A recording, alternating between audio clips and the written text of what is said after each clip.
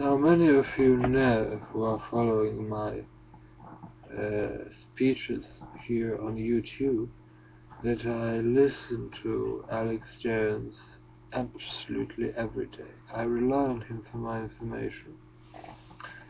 And I can tell you the, that yesterday, on this 11th day of uh, December, Alex Jones just ranted. He was threatening to uh, attack the government of the United States, and he was in full flare. There were no guests, and it was quite a useless broadcast. But for my daily news, I use Alex Jones.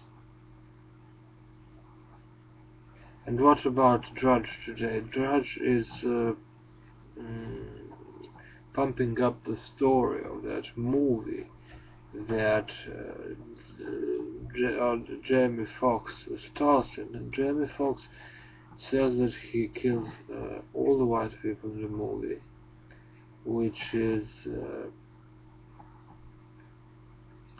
which is dreadful, but the whole internet is banging on about it. It's such a non-issue.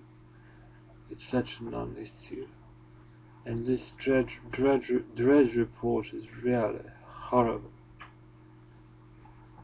Buffett joins Soros in effort to raise taxes on estates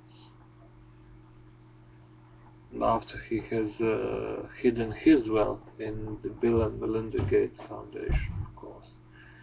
So the the news are getting a little bit uh, depressive, but everything's alright, and this world is quite beautiful.